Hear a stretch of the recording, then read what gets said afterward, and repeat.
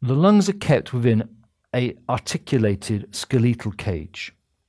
And this is important because it protects the lungs from damage, but also it's important for function because it's expansion of the skeletal cage that allows the lungs to expand and take air in from the, from the atmosphere. And this requires a fixed point. And there's a fixed point posteriorly, which is the thoracic vertebra. And there are 12 thoracic vertebrae. Each is separated by a cartilaginous intervertebral disc. And the, the vertebrae are the site of the articulation of the ribs, which curve round from the vertebra to meet with the fixed point anteriorly, which is the sternum. And this is a flat bone which you can all feel in the center of the anterior chest. And this comprises of three parts manubrium, which is the top part, which joins to the clavicles, which are the bones that allow the shoulders and the, and the sternum to be joined together. The sternal body, which is in the middle, and there's a little process that sticks out the bottom called the xiphoid process, and that's important because the diaphragm sticks onto that.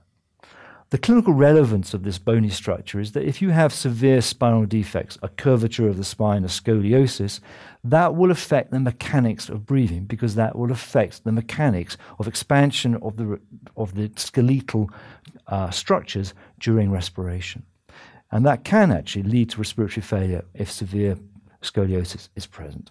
So the ribs are the bones that join the vertebra and the sternum. And there are 12 pairs of ribs arising from the thoracic vertebra, one from each. They're made of bone posteriorly, but anteriorly they merge into cartilage. And it's these cartilages that form together to form the costochondral margin, which you can feel uh, between the abdomen and the thoracic cavity on both sides, and also merge to form with the sternum anteriorly, in, uh, if that's ribs 1 to 7. The clinical relevance of this is that the ribs articulate with the vertebra, but those specific joints can be affected by a disease called ankylosing spondylitis. And if that disease is unchecked, then those articulations become rigid and the ribs will not move during respiration. And again, that can lead to ventilatory defects, although it's a relatively rare cause. The 11th and 12th ribs are actually freestanding and are not directly involved in forming the thoracic cavity. An important thing about the ribs is that they with each rib, there's an accompanying blood vessel, a vein and an artery, and also a nerve. The nerve supplies the skin overlying the rib. The vein and artery supplies the tissues around that rib.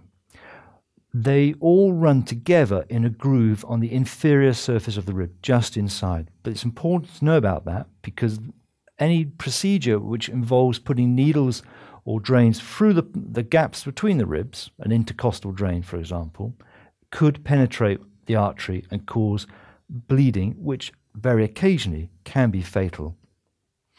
So it's important to know where those vessels run, and it's just underneath each rib. So this is an overview of the skeletal, skeletal cavity of the thoracic cavity. You can see the sternum at the front with its body in the middle, the manubrium at the top, and the xiphoid process at the bottom, and the vertebrae run behind, and then the ribs run between the two. You just completed your first video of the world's best medical exam preparation. Lecturio brings the knowledge of worldwide leading medical experts and teaching award winners to your PC, tablet, or smartphone. Prepare yourself and check your progress with thousands of quiz questions customized to USMLE standards. And the very best, you can get in touch with our medical experts personally. Visit lecturio.com now and continue with the most inspiring medical education around the globe, anytime, anywhere.